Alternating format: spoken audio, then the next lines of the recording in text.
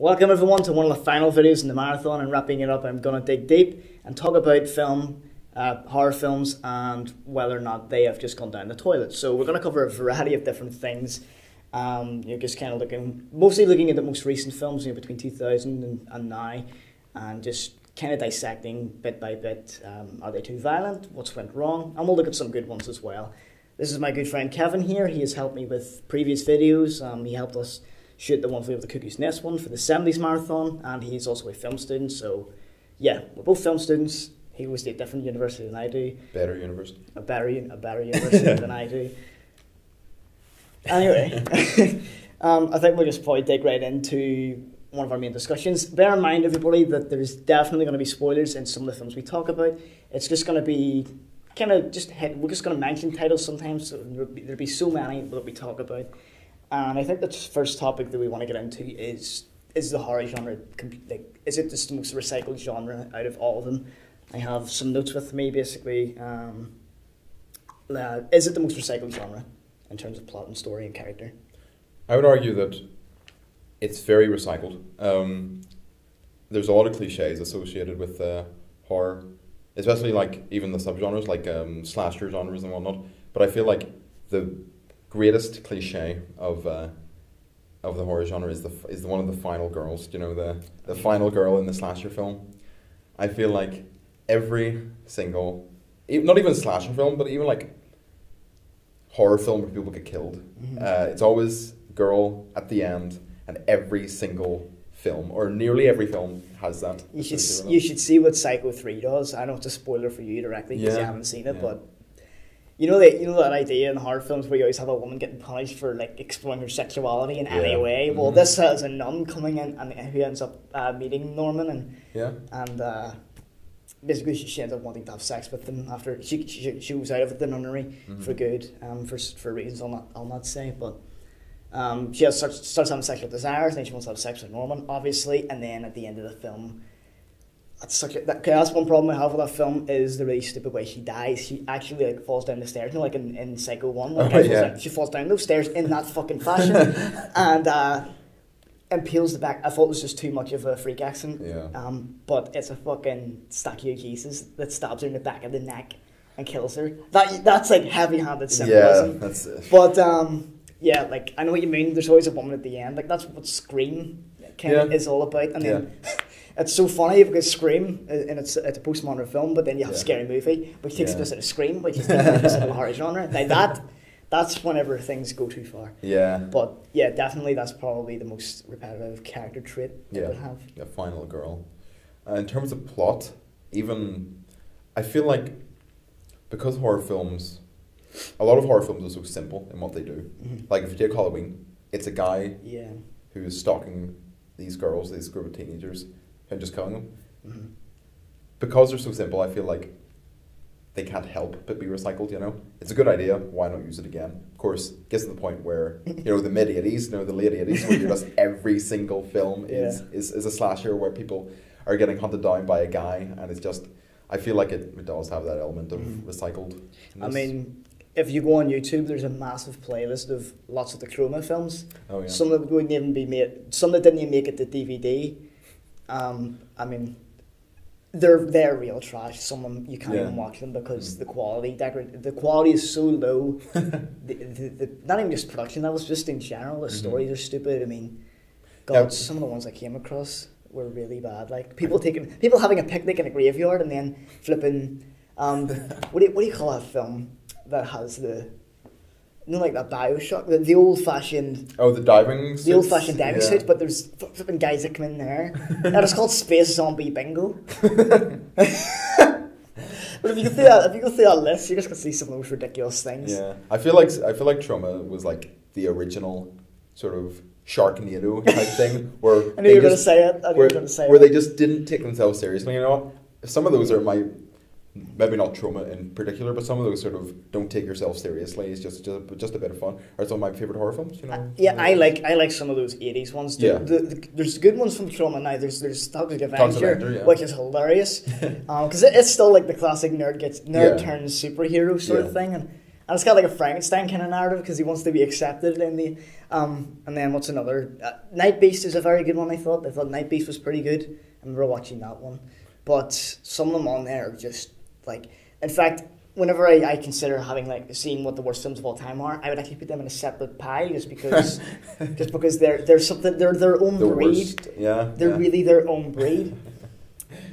they really are. Gosh. Um, yeah, in terms of like repeating themselves, I mean, I know at this point it's hard to have an original story, but it really does feel like a film's just getting repackaged constantly and constantly. Not, I mean, Hollywood's obsessed with remaking films, which I'll get to in a minute, but it's like a different thing. It feels lazy. I guess Yeah. the point. Like people argue that remakes are lazy and everything, but at least for remakes, there's like they're trying to play off the original, like sort of the success of the original or whatever, Mhm. which we'll talk about later. But I feel that for recycled plots and recycled narratives, it, it does just cross the laziness barrier where you're like, yeah. is it is it justifiably sort of being re- recycled? Which often it's not. I, I think I, I I mean I'm not opposed to remakes a lot of the time, but Psycho remake. I mean I haven't seen I have like I'm getting I, I covered it in the Oh. marathon, but I mean that, what's the point of redoing it? I mean, fuck. I remember reading a good review and it was like, is this a drawing of the Mona Lisa? It's not a real piece of artwork. If you've Yeah. disagree something someone else has done. Yeah, is, is that It's not it's a, a- literal word for word remake with Vince Vaughn? It's bizarre. And Yeah. apparently, the- I've never watched the recycle the Psycho remake uh, for reasons. Um, but apparently, it's insinuated, sort of implied that whenever he watches um, through, do you know the part where he watches through like the hole Yeah. at uh, your woman getting changed? Yeah. Um, it apparently it's insinuated that he masturbates. It's like, mm, mm, thank you, thank you for that.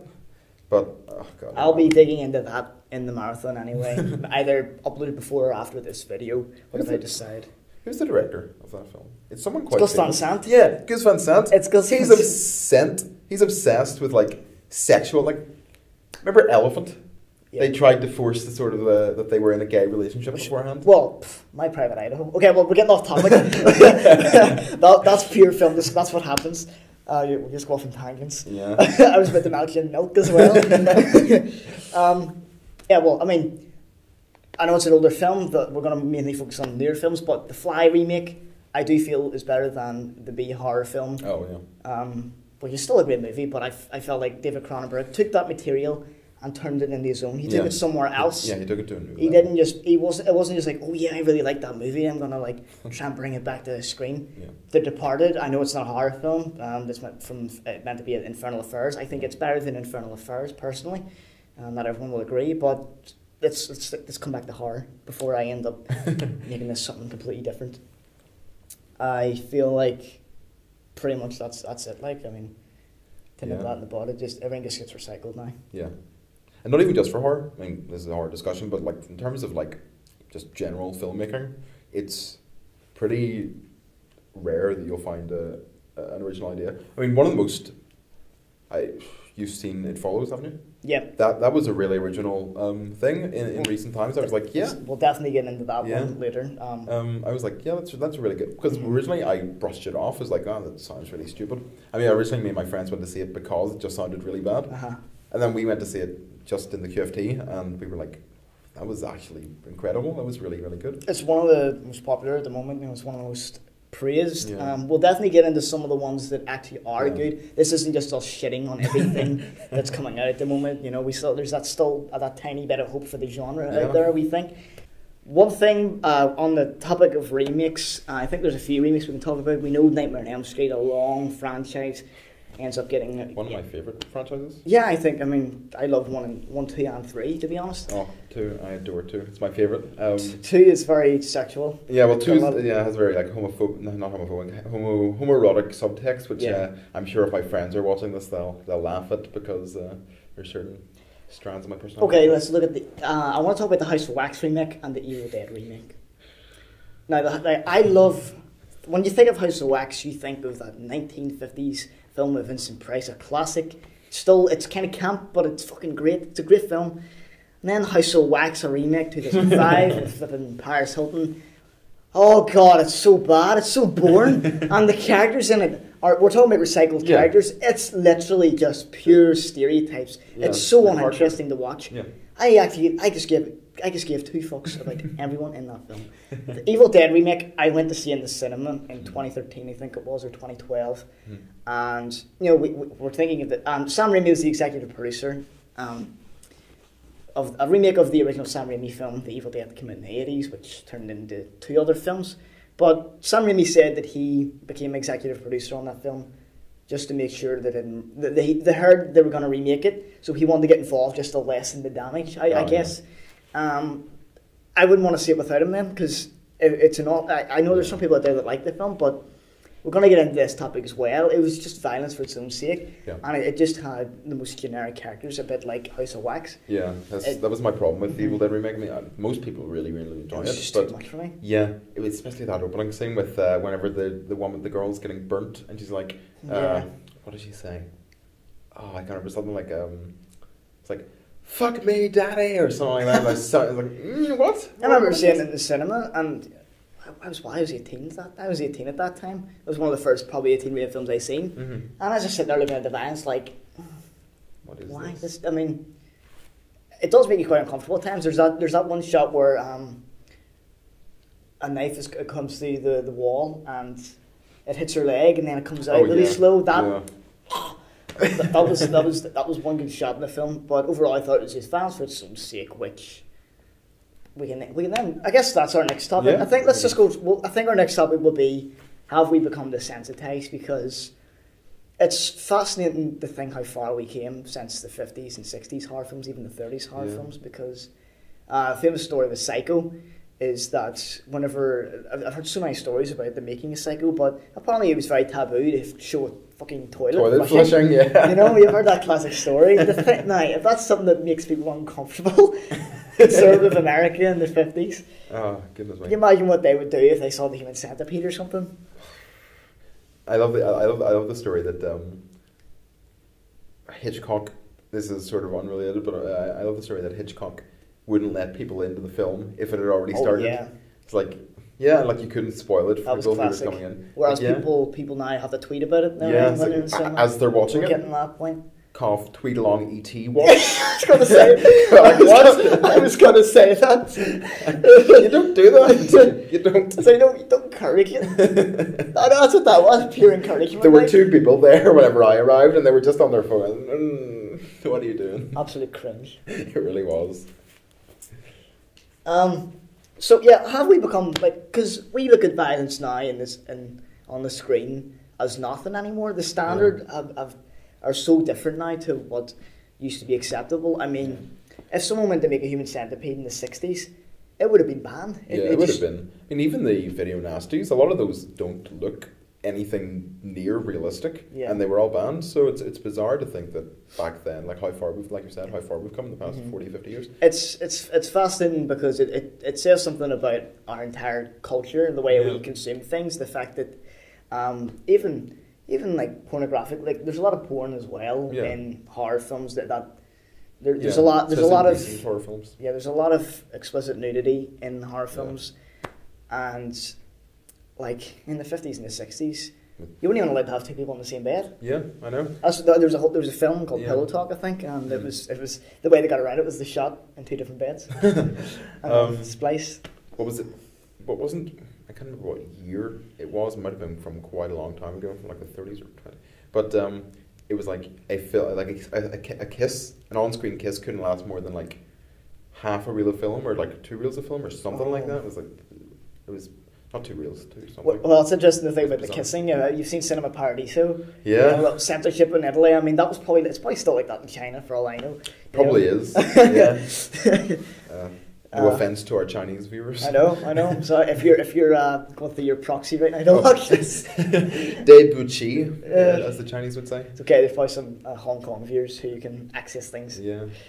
Um, Um, but yeah, I think one, one of the main people who really pushed, one of the main innovators of that so-called torture porn thing was Eli Roth, Oh, and yeah. uh, with his Saw films, with his Hostel films, and I've seen the first Saw, I've seen the first Hostel, and I don't enjoy either of them. Um, I just can't. You don't. Oh, you don't. You're not a fan of the original Saw. No, Well, let's not. let's get into that. Um, because now that we're talking about the super violence in films, I think one. Well, let's talk about the human centipede first because I think everyone knows of that film now. Yeah. It's notorious in the film world. I haven't even seen the third one myself yet, but the second one's unforgivable. But in terms of the first one, I thought I thought the villain was, was so well played that it, it, he played with such conviction. He was a terrifying guy, but I felt like the, stupidity of those two girls to even get into that, like, to, wander off into the forest. I thought Mhm. that was totally unbelievable, and then I felt like it dragged on way too long, and it was just violence for its own sake, trying to be more meaningful than it actually is. Yeah. Not an awful film, but you know, Yeah.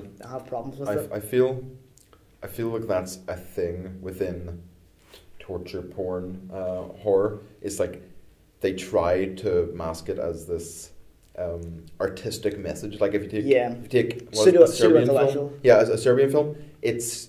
I've heard people like defend it saying, "Oh no, it has a really staunch political message." Yeah. I'm like, "Shut up!" Like it's it's look look what- look what look what you're watching. It's it's disgusting. Uh, that- That's it's um And like I'll, I'll define, I'll, like I'm sure you're the same. I'll defend uh, art's right to exist, but yeah it just I'm not comfortable with that. So it goes a little too far. yeah, yeah. I like fair enough, people want to watch it, but I just I can't.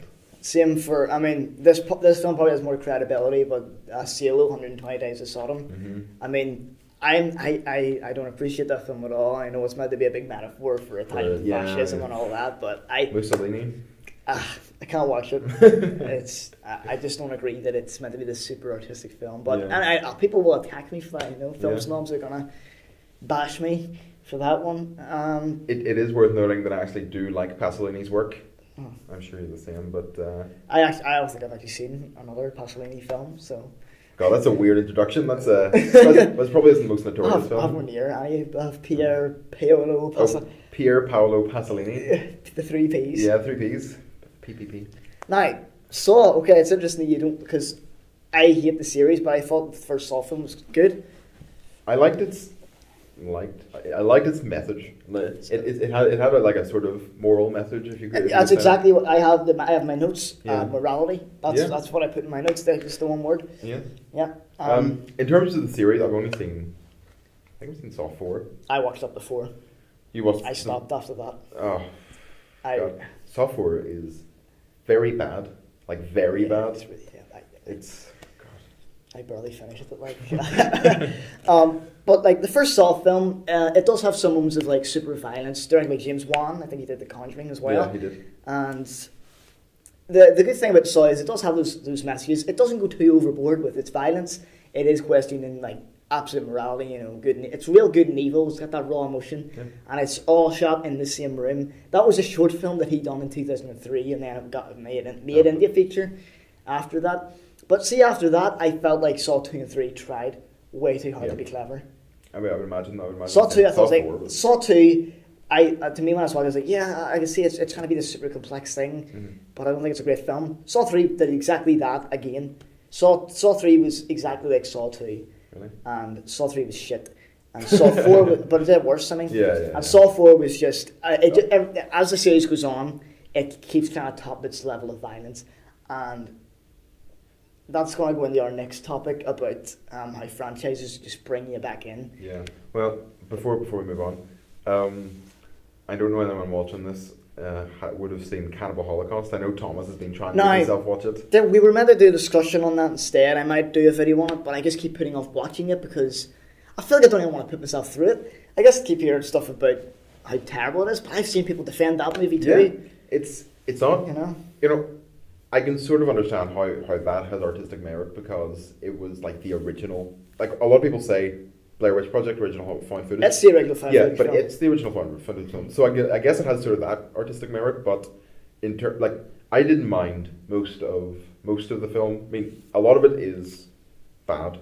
Like there's no like scene I go, oh, well, that's pleasant. But the the, the, the the scenes that really annoyed me were the animal cruelty scenes. Were oh, it's too far. Yeah, and the fact that like I would, Unforgivable. I, I couldn't, I couldn't even like I in the my in my mind I didn't have the privilege of being able to say that's a fake turtle or that's a fake you know rat or whatever 'Cause- because they were real. we know it was Yeah. real, and um, I think I don't care what kind of statement you're trying to make, but when you're causing physical harm to any animal or any human being, I Yeah. think that's when you have to draw the line because no matter like as storytellers and filmmakers, that is actually like an extreme ethical ground. I Mhm. mean, there's people who make documentaries, and sometimes people die. Some Yeah. some journalists die sometimes, you know, because they go too far. Yeah. Things like that happen all the time. I'm not going to give examples and I should back that up right now, but if you go online, you know, you'll find that information out uh, straight away. But I think there's a, there's a certain responsibility as an artist and a Yeah. filmmaker, a storyteller, anything. You should not go to that extent to cause physical harm to things.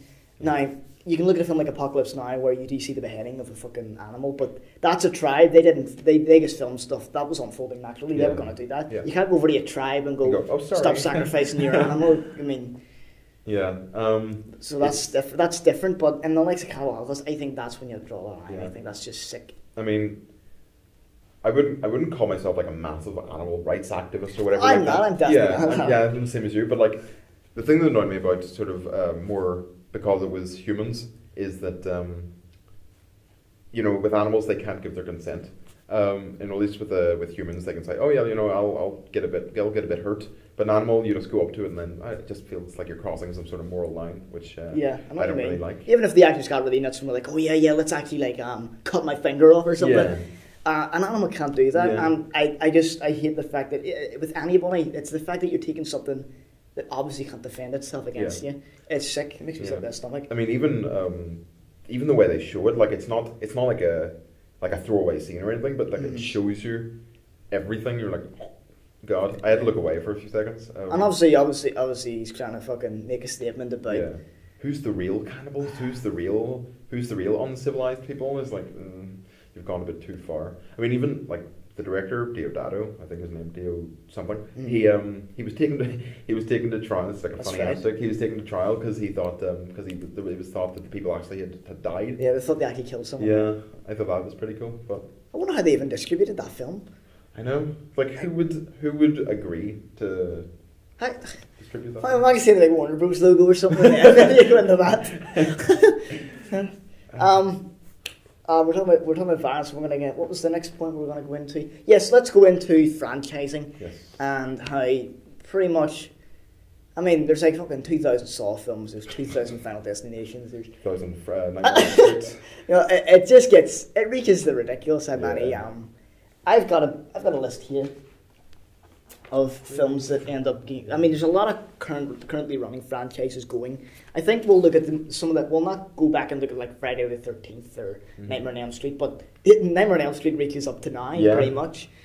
Um, Friday the Thirteenth just keeps getting reboots and stuff like that, and Yeah. Texas Chainsaw Massacre. Uh, Yeah. Hills Have Eyes. Oh god, there's, Um, there's so many I can go off. aren't they making a, a Halloween reboot as well, or remake or something? There's like a five sequel? Halloween movies too. Yeah, I think they're making a sequel this next year or something. So it's, it's I, you know, it was only last year I found out there was so many Psycho films. yeah, I, I was quite like, a few. Psycho 4? There's a Psycho 4! I was like, what?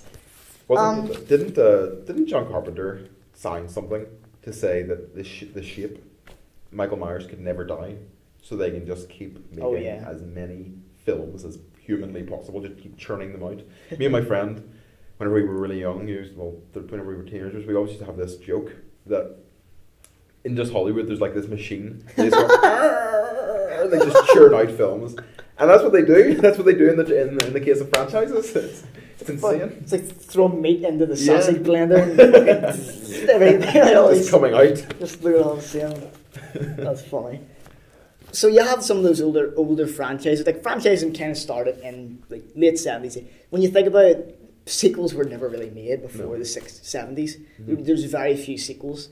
Um, I mean, I know you go back to the thirties and the Frankenstein. It was kind of like the original um, horror Franchise. franchising. Um, but it was really the eighties, I think, when things started to kick off. You started seeing more pop up, Yeah. where there was like seven of a film that started getting made. It's 'cause made. you- It's because, and it goes back to that whole idea of, of very very simple plots. You just you can make them about everything. You Yeah. know. Um, I know you said we weren't going to delve into the Friday the Thirteenth, but like you can just create so many Friday the Thirteenth films because of just how simple that character and plot is. You know. It's, Yeah, I know what you mean, because then you can generate more meaning around just that simplicity. yeah. Like and Halloween's a great movie. I think it's just pure fear. Yeah, it definitely is. Um, but uh, then it comes down to the, the still relevant message of the sort of the still relevant question of if it's making us money, why stop?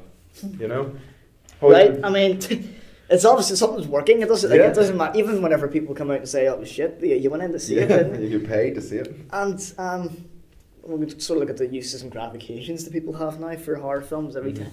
So we talked about sort of like Elm Street and all that sort of thing, but some of the the current running ones you've got Insidious, The Conjuring is probably going to turn into a franchise very soon. Yeah, Sinister. Sinister, The Woman in Black has a sequel. It, Yeah. it, I, it might have a third one coming. I don't know. Then there's the Saw franchise. There's too many of those. It goes on forever. Yeah. But it says something about how they use that name to get you in because Yeah. people saw Saw three were you know I think I think Saw six or something was like the most successful of all the Saw films It was. It's the last one, or it? the last one. There's like I think there's Saw six and then there's Saw three D which is the seventh film, Oh yes, yeah. Came something like that. 2014, 2015, uh, which is always you know that's going to be gimmicky as hell. Yeah. I'm going to see that one. Anything 3D, Nurse 3D. But you know, because people are like, "Oh yeah, oh it's uh, oh that film I can't watch that. Oh it's terrifying." People, that's the thing with the horror genre. It's the reason people get in to see them. Yeah. They want to be scared. They want to be shocked. They want to go in and see something and be disgusted. There's people have a fascination with being disgusted. Yeah, they definitely do. I mean, what did I go to see? I went to see. It was the third Insidious film, and uh, no, it wasn't. It was The Gallows. That atrocity, um, cinematic atrocity. But there were there were people. It was very. It was like an empty theater, and uh, it was me and a couple of other people, and then there were this row of teenagers up front, and just every single jump scare. Ah! Oh, Ah! Ah! It's like it's not that scary. It's, it's, it's gets me annoyed. Gets, gets me annoyed. I mean, that's a whole separate topic, the use of jump scares, but Yeah, well, that's going to be covered anyway. Um, I'm sure because that's kind of like that's what the forest did. Oh, um, but uh, uh, back on the franchises, but people I guess keep coming in for the same. I mean, one that's really annoyed me is Paranormal Activity, because I think there's like, what is it five of them now? yep. Five, five. I've seen, I see, I seen the third one in the cinema. As when I went to see that one, I realized, oh yeah, this is the reason people keep coming back to see Yeah. it because they kind of enjoy going in. They really, like you hear people, uh, you know, shrieking and then laughing right after it. Yeah, You know? it's it is it's sort of that thrill. It's it's what They're going for a bit of a thrill. Yeah, I thought Paranormal Activity 3 was, you know, a meh film. It was okay, you know, it, yeah. it purpose. I'll not see again, you know, they're not Yeah. rewatchable in the slightest. That's the one with the Xbox. It's like the Kinect, and they're like, you can see the. You I can think that's see the fourth ghosts. one. I don't know. I think, I can't remember what I, uh, really happens in the I've- third one. I've seen all of them. But- and they For the found footage genre, like I know we could, that uh, a lot of them are horror films, the found Yeah. footage genre. So all I can say about it is it's an idea that's fantastic and then died extremely quickly. Yeah. I mean, like we said, Cannibal Holocaust, original uh, uh, found footage film. In, like in terms of that, very very good. How Very- come there wasn't any made like after that? You know, Yeah. between the eighties and Yeah, Blair Witch. uh, that's because of the rise of the slasher, I guess. Um, but um, and then Blair Witch, and then I think Blair Witch sort of created that kickoff, and then it died for a bit, Aye. and then Now it's come back. yeah, uh, Blumhouse. Blumhouse are the the studio behind par- the whole paranormal Oh, activity thing. Okay. So I think they're and the gallows, and uh, so the yeah, gallows is bad, like. the gallows is atrocious. Um, genuinely, although it did have a really cool setting inside that high school, I'll say that about it. Um, but so I think Blumhouse are, slowly trying to claw it back. I think Paranormal the Activity made it come back in again, two thousand six or yeah. seven. It did, it did. It died for for a bit of the two thousands and then mid two thousands. I, I, kind of like the first one. The second one, not Yeah. so much because it it was just playing on your. Um, generic. I mean, it's playing on your actual senses because even if right now I was just sitting here talking and then uh, all of a sudden I decided to cut um, to me dressed in a clown costume and screaming and put up the audio levels, Yeah. that's going to scare the shit out of you. Yeah. You know, it's just because that's how your your body is going to.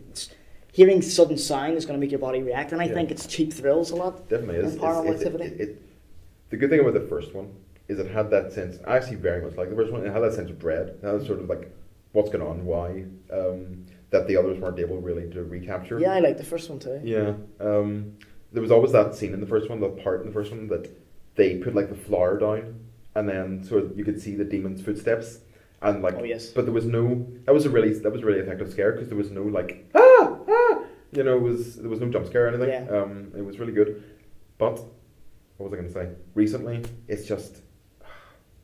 They shouldn't be called jump scares. They should be called jump shocks because your body's just shocked. You're not Yeah. scared. You forget about it five minutes after leaving. Like it's- Definitely. it's it's annoying. Definitely. It's definitely annoying. It's not like a film like The Exorcist that gets boycotted Yeah. or people are throwing up. And Yeah, people like people aren't going to throw up over a jump scare. I mean, I heard a story. Someone, someone I, I, I knew, um, he had saw it when it came out in like the eighties or something, in his Mhm. early late seventies, and he said, um, and he watched it when he was like 18 Mhm. and he said like literally him and his, it haunted him and his friends for like Yeah. weeks.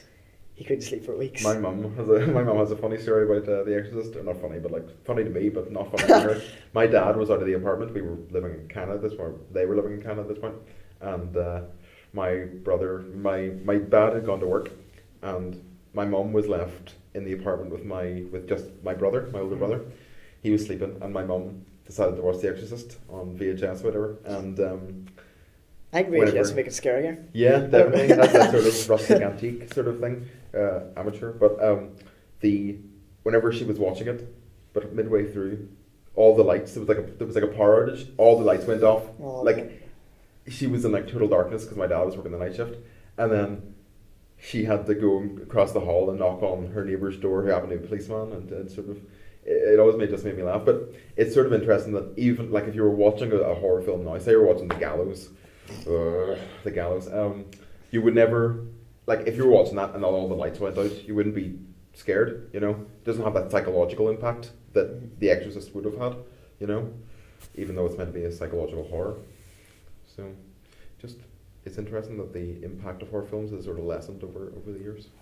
Now we've talked about franchising and things that are going on recently, so I think we should actually look at some of the most recent examples. I'd say like 2010 and beyond, Mhm. sort of thing. I don't know if there's anything in particular. Let's look what's gone wrong and what why they simply don't work and why we're not just talking about critically badly received films that have not done so well at the box office and or aren't very well received just in a general sense. You know, Um, what what I went think wrong? the first one that comes to my mind, I think it's just because it's quite recent, is The Forest. Mm, yeah, that's a good one to start with. Actually, Um, the Forest, I was quite excited for. Not excited for, like tentatively excited for, because it it's it, I don't know whether you know the premise, but the premise is that this girl, this woman, um, goes to Japan to look for her sister, isn't it? Sister, Yep. um, Her twin sister. twin sister, who's sort of gone missing in in the suicide forest. Um, and I thought, great horror film, Japan, set in the suicide forest. That's like a really good combination. It's it's a fantastic Yeah. concept. It's a, the, the potential that you could have for Yeah. that.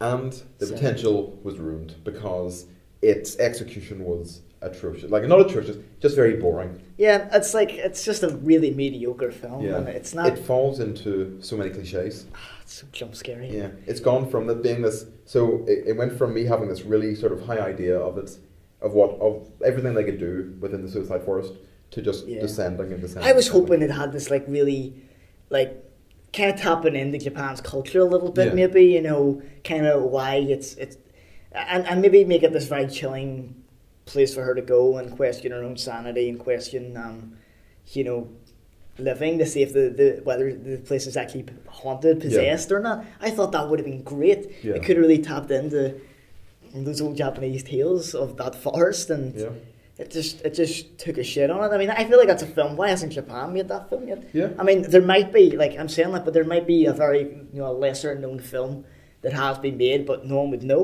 yeah. You know, um, if there is, point is in that direction. yeah, because I, I want that. I want that movie. Yeah.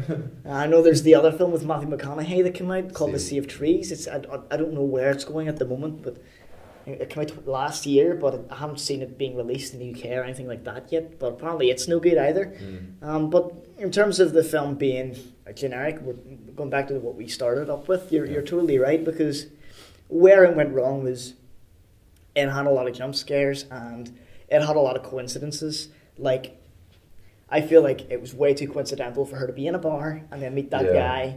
And oh yeah, I'm going up there anyway. Oh, just come with me. It's like that's no way. The Yeah. coincidence level for that is it's it just wasn't believable in the No. slightest. Wasn't. I mean, also characters had no depth.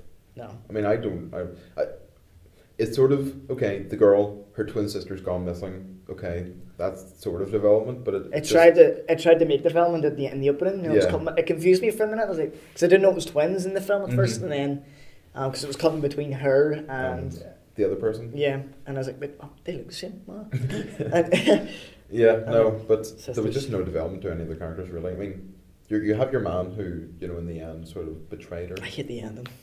God, the ending's so awful. I, really, I So- really don't. It just stops. Yeah. It's, it's not an It ending. Well, like the the, The police come and it ends. Yeah, it's, it's annoyed me. Not a fan of that ending. No. Um, talking about a horror set in recent horror set in forests. Blair Witch came out. Don't know whether you've seen I, it. I have not come across Blair Witch, and I've heard like two opposite spectrums. I've heard um, William said it was it was actually quite good, not brilliant, but it was good. And then I heard someone say it was total trash. yeah. I'm Um, hearing a bit of mix. I sort of, yeah, I sort of fall in the middle of it. I call it a very meh film. Like you, Yeah. that's your term, a meh film. Because Yeah, a meth film is uh, like a one you give like a between a five and a six out of ten. Yeah, it's just for the for the vast majority of it, I was bored. I was like, Yeah. I don't really care what's going on here. There was just nothing. It tried to recapture the spirit of the first film. It didn't didn't succeed. Um, there was this there was a scene in it that made, but then there was that scene in like towards the end. It's not that long a film. It's like eighty minutes. There was Oh. a scene towards like the fifty minute mark. I was like, oh, that's pretty cool. And then the last ten minutes are quite good. Other than that, just nothing nothing good. I mean it just falls into that trap that found footage has created for itself, and that it becomes really bland, yeah. and it's uh, it's, it's unfortunate. That's it, like. Um, I just want to just to finish up on the forest. The reason it doesn't work is it, the jump scares are, are, are silly, mm-hmm. and like literally there's parts in it whenever something popped up on screen, I actually couldn't help myself from laugh because it was just so silly. I, I can't remember exactly what moments it was. I think maybe whenever she falls down the hole, Oh yeah. whenever things start popping up at her, I just I oh I mean it's when she was looking at the thing. I knew there was. Remember she was looking through the the wee stereoscopic oh, yeah, thing. yeah, yeah, I can't remember what you call it. I had one as a kid myself, but Like- I was like, oh, oh, she's gonna look through this. I know what's gonna happen. Something's gonna pop up, and something surely pops up. But what about that thing where it's her dad or something?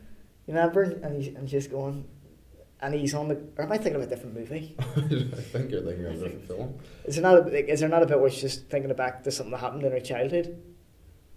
God knows. I think What my film, am I, brain what film am I thinking of? That sounds like a lot of films. I I think That's a very general term. Um, no, well, well, okay, well, anyway, about that thing was just looking through Yeah. the. Obviously, I'm waiting on something pop up, and when it does, it didn't even fucking make me jolt. Yeah, It was just funny. yeah. It's just annoying. It's just His execution was that bad. I, I'm, I'm wondering what film I'm thinking about. It was something to do with um. Oh wow! It was Nurse 3D. It was true. and uh, uh, more on that later. I don't know if you call it a horror film or not. That's the thing. That was it was Nurse 3D. and It was shit, really shit. my uh, thing is, whenever my friends talk about horror films, sort of people who are less film inclined, whenever they talk about horror films, they talk about how scary a film was based on jump scares. It's like, mm, Oh, yeah. It's not really that scary, you know. It's not.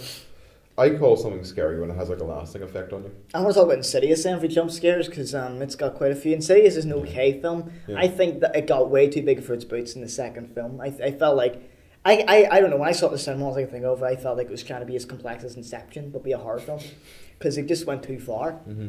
And, you know, it didn't confuse me, but I felt like it was just trying really hard to be that really uh, convoluted narrative. And it, it was just too big for its boots. And, you know, I anytime I talk about Insidious, I can't stop but laughing because all I think of is Darth Maul. Oh yeah, bloody hell! the, the Darth Maul thing, like, it's just really fucking funny to look at him now. Uh, it's kind of creepy whenever you see like the whole ending. I thought that sequence was pretty cool. Yeah. But like, it just makes me Whenever- laugh because yeah. of how much he looks like Darth Maul. I mean, what were they thinking? Are you, I mean, that's not a character that you can avoid seeing in pop culture. That's not. Mhm. That's not. You, you can't make that mistake. Yeah. Especially when you're in the film business you know who Darth Maul is, and you just stuck him in the movie. It would have been intentional. It would have been like, oh, There had to be something. He literally looks like Darth Maul. It is. It's like almost identical. It's, it's strange. So The Conjuring, which I also saw in the cinema, I mean, I I haven't seen a good horror film in a good long time, but we'll Mm. get into a few that have really surprised me. Um, in the cinema, the worst horror film I've seen is probably The Possession or Evil Dead. Oh, the remake, yeah. A remake, the Um, remake of Evil Dead. You're talking about the Conjuring there. I actually quite enjoyed the. I actually like the Conjuring, other than the ending where it just turned into a generic possession film. I, I like The Conjuring as well. I felt like it had, it, it, it, rela- it, it had more atmosphere to it. You know, Yeah. it, it definitely felt more atmospheric and had more suspense and tension as opposed to having jump scares. But I remember that one jump scare where there was something on top of a cupboard. It, Yeah, it, didn't, yeah. it didn't work on me. talking about. It didn't Um, work on me. I mean, James Wan is a good director. He's talented. And then there was The Conjuring, and then there was that doll, Annabelle. And they were like, Oh yeah. people love Annabelle. Let's make a let's make a spin-off film from Annabelle called Annabelle. And I don't know whether you've seen Annabelle, but Annabelle's atrocious. Like I, genuinely, yeah, I, I was trying to That's- think. I was trying to think whether I could just call it something else. Or, no, Yeah. but it, it's, Well, we, it's, that's twice you've used that word to Yeah. describe a shit film. So it's uh, it was really really bad. It was um, it just it was cliche after cliche after cliche, and they focused actually so little on the doll. It was it shouldn't have been called Annabelle. was there not another one with uh, Guillermo del Toro was the producer or something? Uh, Mama. Yeah. Oh, Mama, Or yeah. did he direct it? No, he was. Uh, I think he was producer. He, he didn't direct. Um, I haven't seen that, but um, it seemed to be quite well received Yeah. itself. The Devil Inside. I don't know if I know. Have you seen The Devil Inside? It's a Inside. possession film. Uh, did you ever see The Last Exorcism or the Last Last No. Uh, Last Exorcism, there was Last Exorcism Part 2, which always made me laugh. Cause The Last Exorcism was like it was just it got kind of silly towards Mm. the end. The Devil Inside is so funny. Like there's this scene where like the poster is like this. Um, It's the The nun, nun. isn't it? Yeah. And see, see the scene in the film. It's so fucking funny. You think that's gonna be a main character or something, don't you? Or like a, the main villain or something. yeah. But it's literally she's driving somewhere and she looks out of the car and you have a shot and you see this nun looking at her like. you know, and it's really funny. And that film is not scary at all. Like I, I hate that movie. That Oh. was I hate that film. Have you seen Devil?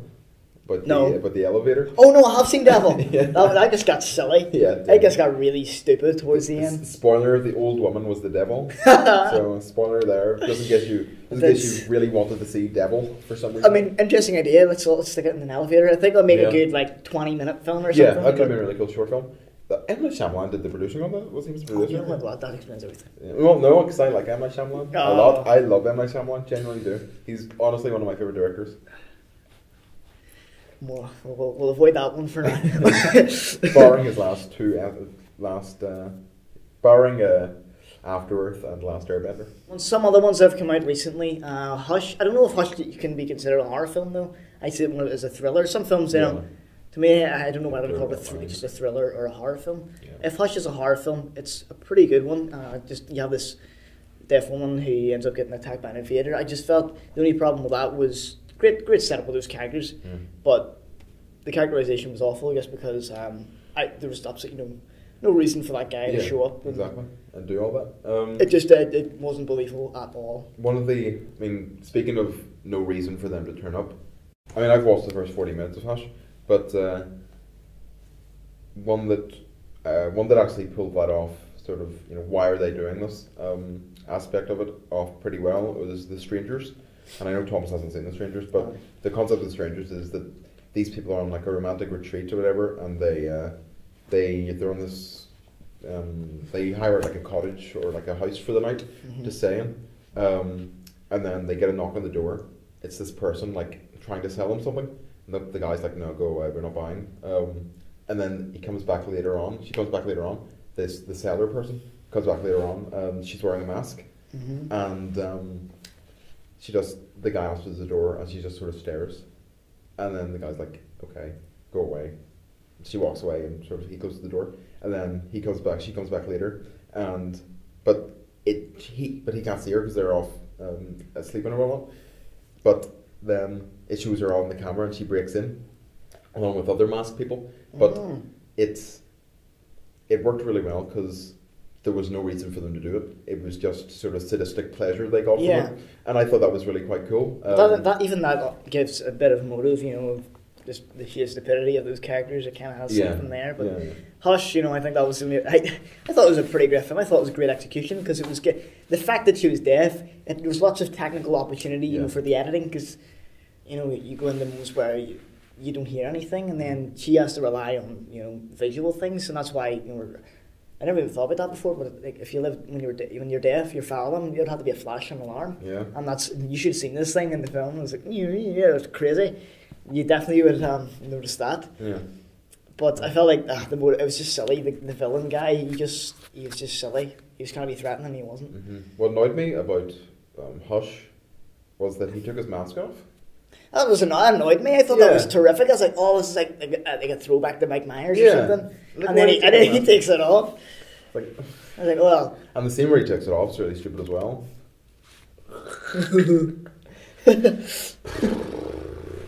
Yeah. Yeah. Uh, what else? What else? Okay. It follows. We loved it. Uh, Yeah. Get Let's let's let's uh let's yeah okay. I think we can talk about good ones now. Have you seen The Witch yet? I've seen The Witch, yeah. You've seen The Witch now. The one that's one I really need to see again because I don't know how I feel about it yet. I know I liked it, but I feel like some of it was.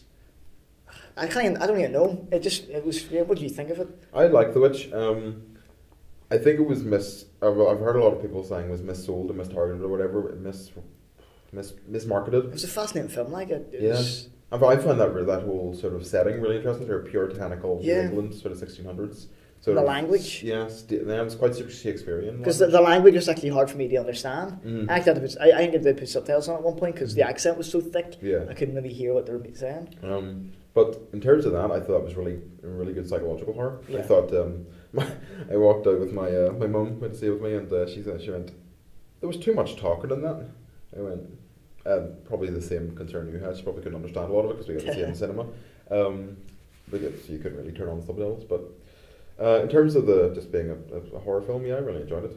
Um, I thought it dealt with the whole aspect of good and evil and sort of the, the sort of the warped perspective that the Puritans had on good and evil and whatnot. Yeah, I think it, it, I, I thought the atmosphere, the setting Mhm. was really well done. And that Yeah. kid who, who plays the That plays the devil child. yeah, oh my god, Yeah. that was that was creepy Yeah. as fuck. That's one of the most scary like, children I've ever seen in a movie. Like Children of the Corn like that that that rivals The Omen and The Shining by far. You know, as in as in the twins in The Shining. Yeah. I mean, Not, not Danny. um, but uh, no, but I thought I think I just didn't quite understand it fully. That's why I want to see it again. That's why I don't want to talk too much about it. Yeah. Um, Black Phillip.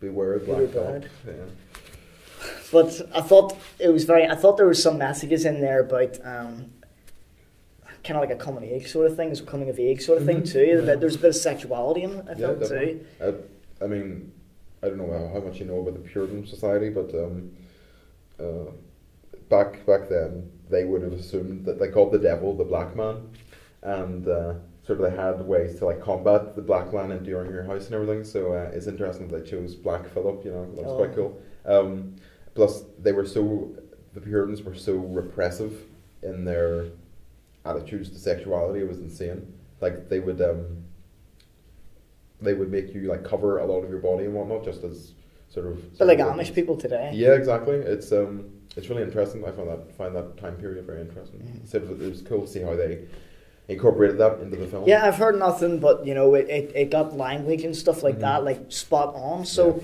and the ending was like, I didn't know whether this is really silly or this is like yeah, really disturbing. That's what I just need to see again, yeah. I, it's one that I'd rewatch. definitely.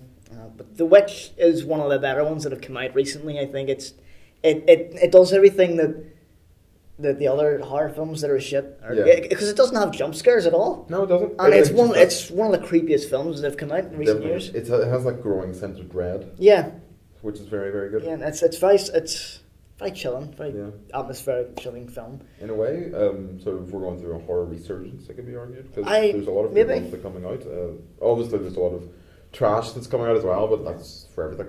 But Maybe Babadook. Babadook. Let's yeah. talk about the Babadook and It Follows. Mhm. Uh, w- w- let's Good finish up on It Follows since we mentioned it earlier. So yeah. It follows. I think is like we were talking about recycled plots and recycled things. A, it had a really original thing, but it paid homage to what its influ- its, well, its influences and inspirations were. It sort of paid homage to uh, John Carpenter, uh, early eighties, late eighties John Carpenter, which I thought was really cool. Um, so it was, it played off its uh, inspirations, but not in the way that ripped it off. You know. yeah, That yeah, it, it took us somewhere else. Yeah. you know. Yeah. Exactly. And I think It Follows. It's definitely one I I want to see again because I didn't quite understand everything, but just that whole setup was just it was very interesting. And then I had to try and find another sexual partner. Yeah, but Um, and it's funny that you were saying, and obviously a major trope within horror is that you know sexuality is punished. Yeah. This is, it felt sort of self-aware in that fact that you know that's what they were dealing with, and they, they were sort of not making fun of it, but sort of referencing that sort of horror. Because I, that. I know someone um, who didn't like that just because of the, the way it was. It, it, she just said um, you know how much it was punishing women Mhm. in the film, and I don't think I it- felt like that wasn't the point Yeah. of the film. You know, it wasn't. It wasn't just that's not what the topic Yeah. of the film's about. It's not meant to be a misogynistic Yeah. kind of showing of, of that. It's it's much more than that. It's way more than that. Yeah, I feel like it, it has a lot of layers, and I think one of the layers is a very touching, in a way, coming of age film about. Yeah, I've heard that, I've yeah, heard about that girl, about the guy who has that crush on the girl, and then sort of what he'll do to.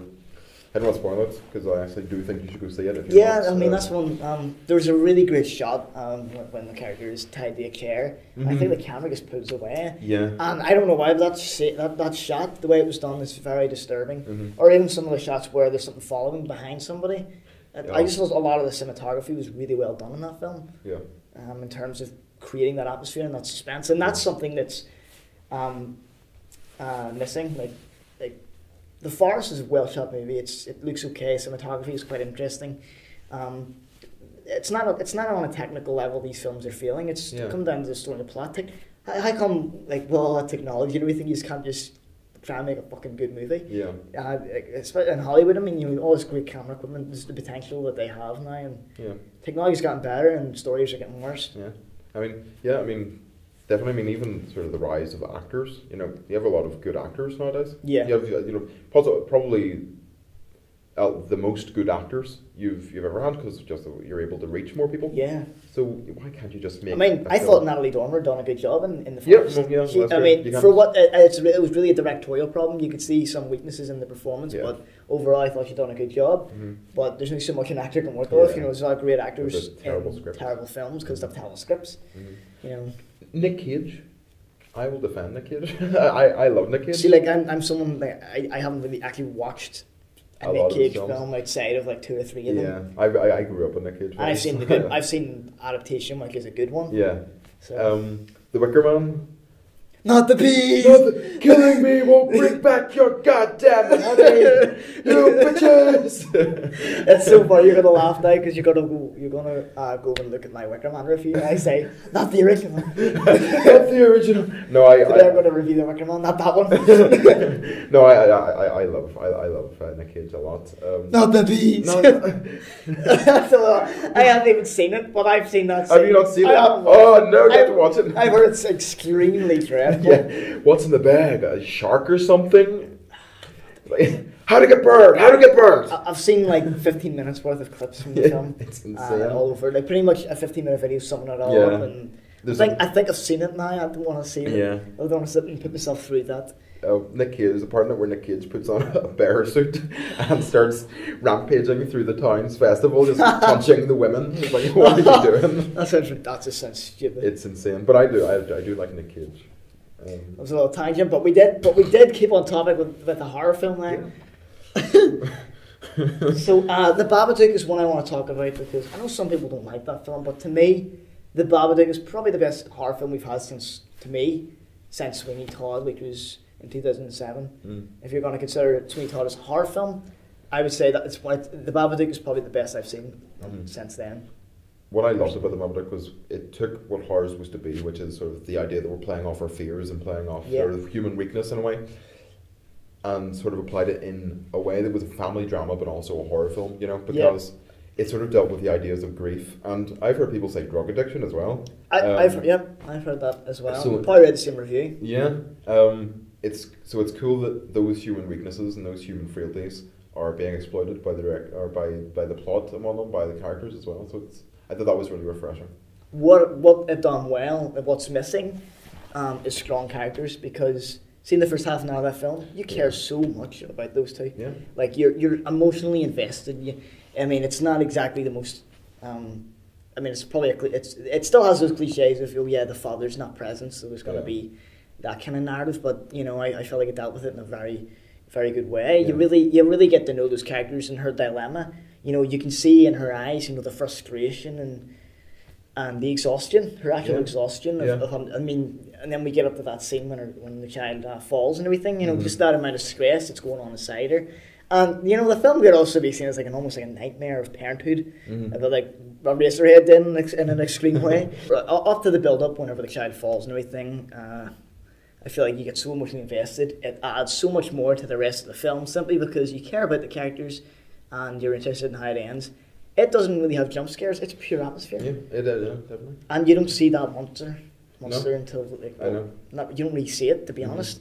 and it's so effective. It's it reminded me a lot of Nosferatu. Oh, Because yeah, the use of shadows. The use of shadows, yeah, exactly. And sort of the use of suggestion as well, which I thought was incredible. Yes, I, I, I do feel like that's something that I think there's a lack of imagination in a lot of these horror films that are just Definitely. absolutely dreadful because they they just want to put in all the violence and the gore and it, it's it over it just overdoes it. It, it overwhelms the senses basically. yeah, whenever whenever something is left to your imagination, it's always worse than when it's on screen. You know. Yeah, I mean, it just it just it leaves you unsettled because you're Yeah. not sure because it could be a mul- multiple things. Yeah. It could be anything, and that's why you'll see my review of Cat People in this marathon. You know, an old '40s horror film that I that just a little B movie, and it it it didn't um, show certain things just because of a budget issue. Mhm. Um, but it worked to its advantage because it creates a lot more atmosphere just because Yeah. you don't see the the, the, the beasts in, in, in question. Yeah, I mean, that's another thing. You don't need, like you said, you know, why if um, why if there's a huge upsurge in sort of the quality of technology and all that, why is there less talent? Well, I feel like it's it's not. Those two things aren't sort of related, you know. I feel like because even if you take Halloween, that was shot on a minuscule budget, Yeah. and and look what it created. Same with Texas Chainsaw Massacre. Uh, it was shot. I mean, there was rumors for what it was shot on, but it was it was shot on less than hundred thousand anyway. And it's just insane what Mm. what what a filmmaker can do, can do on that thing. So I feel like those two things aren't related. I, th- I don't think um, you need a, a, a great amount of technology or a massive budget to make a good a good film. Couldn't agree more. Couldn't agree more. I mean, there's a lot of great things to be done on small budgets. Yeah. And speaking of small budgets, let's take a look at what is, you know, our modern day level of Troma films. This new, th- but this is like a new form of entertainment, a new use for films.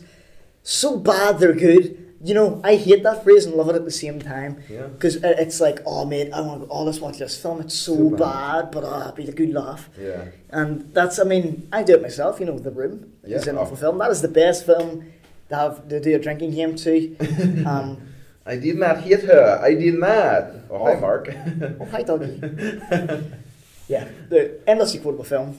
Um, but in terms of horror, there's so goddamn many. I actually had to make a list because. right, I mean, let's just talk about fucking bad shark movies. As That's, a, that could be like a genre of itself. As a be whole video subgenre itself. of its own. I mean, I mean, Cinemassacre did a flipping top forty shitty shark movies. You should see the way it starts. He's just got he, he, he bought them all. Yeah. For, but you know, God, I wouldn't have sat through that many. I couldn't have. 40, bloody hell. I bet they're all the same as well. And there's just so many. There's some that I've watched, and I'm literally like, you know, this is extremely unrewarding in every sense. Sharknado one was just boring, bad. Mm-hmm. I mean, it was so stupid. I love how there's a character who uh, has a shotgun and has to be saved by a man with a fucking deck chair.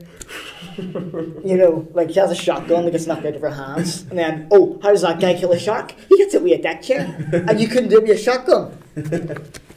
Um, but you know, there's so many of the shark. Ghost Shark is awful. Oh god, Ghost Oh. Shark is so. You see Ghost Shark. I've not, but it's on Netflix and it keeps tempting me. There's a scene. Uh, there's a scene uh, towards the end. The ghost shark basically appears in water anywhere, but dude, it appears in like a water slide, and, and someone's going down the water slide, and then all of a sudden the ghost shark appears. Dude, the ghost shark comes out of a fire hydrant. you know, it, it's just hit me how obscenely bizarre that genre is, that, that Me- subgenre. Mega shark versus mega mega Oh, shark. meg, yeah. Mega shark versus Crocosaurus. Mega Shark versus Megalodon as well. I mean, why is it flying sharks? and I love in Mega Shark that the, the, the actually like the, they want Mega Shark to be Mega Shark, and then Mega Shark turns on the world or something. I don't even know. It, it just turns into total nonsense. But, but like that's like this is like a new thing that's happened. So bad it's good. Birdemic, Oh. Cockneys versus zombies, Ginger Dead Man, Evil Bong, Ginger Dead Oh, Man versus Evil Bong. Those are like Ginger Dead Man versus Evil Bong is maybe the worst I've seen in that kind of subgenre. Because I was watching it and I was like, this is the most unrewarding experience in my life. I got zero laughs. But there, there's one really funny bit in it where he's like, You mean you'll make me a man and not a fucking cookie? You know, it's like Ginger Dead Man was like a really shit version of Child's Play. You know, Yeah. like this someone who, a murderer or something who got caught in a uh, a body of an object. In this case, it's a cookie. And when I say a cookie, he's actually about he really he's no bigger than your hand. He really is small. it's just silly. It's a bit like that, that film series I didn't mention, Puppet Master, but I watched like five Oh, yeah. of those. I actually quite like Puppet Master. Oh, I, I. I, I watched them when I was young. I like Puppet Master. I like Leprechaun. I like Dolls. Oh, you like I Troll too, do you? I've never watched Troll 2. it's, it's, it's, it's notorious, like. But I, w- but I wouldn't watch, I wouldn't rewatch any of those because I watched them as a kid, and Yeah. that's why I like them. Oh, yeah, well, I mean, if you go revisit those, you'll probably not enjoy them. No, I wouldn't, but I wouldn't. That's why I wouldn't watch them again. Ginger Dead Man is so shit. Is there another one called like Attack of the Killer Tomatoes or something? Oh my goodness, that came out in the seventies. Yeah, I was meant to watch that one at one point, but that's pretty silly. Uh, Killer Clowns from Outer Space is alright. Yeah, That's I have it on Blu-ray. Still haven't seen it. Oh, Blu-ray. Yeah, That's we'll have to watch that at some point. yeah. That'll be interesting. But like looking at these really shit films, Asylum is, is an notorious company. They made they made Ghost Shark, they made Sharknado, they made the Mega Shark, the Mega Shark, the Crocosaurus, the Megalodon, the, the, the I'm pretty sure there's like a giant crab one too. And if you notice, Roger Corman has been on board with a lot of these really recent bad Really? ones. Yeah, like this bad CGI ones as well. Um, he's been producing loads of them. Bloody hell! Uh, uh, what do you call that one? Not eight-legged freaks, but it's similar. Oh, uh, arachno, arachno, arachnoids or something, arachnoids. arachnoids, something like that. But he's Something done like loads of those. He's he's been he, he's produced like 150 films, and a lot of them are those As long as he's keeping busy. shitty B movies Yeah. that probably get screened in two places. Yeah, that's true. Well, a lot of his films were big movies as well. So. True, but Roger Corman, he's a legend. Yeah, you can't really can't really compare the two. yeah, but like. I just don't like the way things have went. It's so bad, it's good. I mean, if that's all we're, we're expecting from it now, I think that that's pretty sad. Yeah, I think it's fair enough if if it's sort of like a form of satire, but I think once they become the norm, once people like once they once they start getting mass appeal, you're like, Because now, now it's getting, I think it's getting to the point now. Filmmakers are conscious of how it's being consumed, and how Yeah. people are watching it, so they know that they're making it bad almost deliberately. And yeah. I don't know. It's just Part of part of me's annoyed because I like that- satire, but yeah, mm, yeah, part of me's annoyed because that money that they spent making it could have gone towards a better project. exactly a good fucking Yeah, like solid piece of work. yeah, from like an up and, even from like an up and coming director, like like a like a film student who's just making his first film or whatever. So it's, it's Even something like with a more uh, groundbreaking flipping, it put in the documentary or something to explore somewhere no one's talked about yet. You Yeah. know, just wasting money Yeah, yeah, I can see one. and thought. Yeah, I mean, God help anyone else to work in those films. How do people come up, sit around the table and go, you know what, we're going to have a tornado, we're going to have a shark, we're going to Probably. put them together. They probably like, okay, everyone, write down a word. It could be a thing, a place, it could be an object, and then uh, we'll get three, and they go. we just they're- sort of push them all together. They'll be like, push them all hmm, together. let's see here. What have you wrote? We've wrote down Crocosaurus. Crocosaurus, a mega shark, and world domination. I have an idea. Yeah. Just throw it all in. Same with Sharknado. Yeah. Uh, well, the boy put in like a natural disaster and uh, fucking object. sharks. I've got it, Sharknado. You know, That's insane. shark loom, Oh, shark loom. shark cyclone. Shark. Technically, it's a sh- it's, it's a cyclone because it's in water. yeah, it's true. So yeah, Shouldn't we? but like that's that's what's happened, Yeah. and they're so bad, and you're going to see a lot of those pop up in my top ten most. Uh, I mean, the fact that I can only pick ten top ten worst horror films because there's so many. Yeah. I mean, that's the thing. Like coming down to the wrap up, what we can say about it is it's a genre that probably has the lowest quality of films. It's probably a bit like what happened to the western, Yeah. because it just got repetitive and formulaic. And I mean, there's so many damn westerns, all those old ones. There's so many, yeah. and I mean, there's a lot of great ones too, of course. But Yeah. the westerns died out simply because Westerns mostly down out. You've had you have a couple. You have Hell or High. No, Hell or High. is what it is. Hell and High Water came out, which is Yeah. meant to be incredibly Yeah. good. Scored by Nick Cave.